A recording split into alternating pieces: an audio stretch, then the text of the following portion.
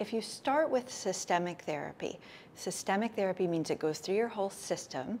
It treats not just the tumor in the breast, but any cells that may have escaped. If you start with that, surgery will be afterwards. Do not worry about that delay. The point is to treat the cancer in the breast and the rest of the body.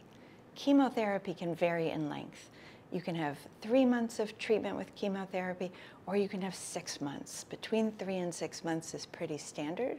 If you're getting this after surgery, we wait to start until the wound has healed. So surgery, then chemo, we wait. If we're starting with chemotherapy, you can proceed to surgery usually two to three weeks after your chemotherapy. And then as before, radiation therapy, and if appropriate, endocrine therapy. A special word about targeted therapy. Targeted therapy generally continues for a year.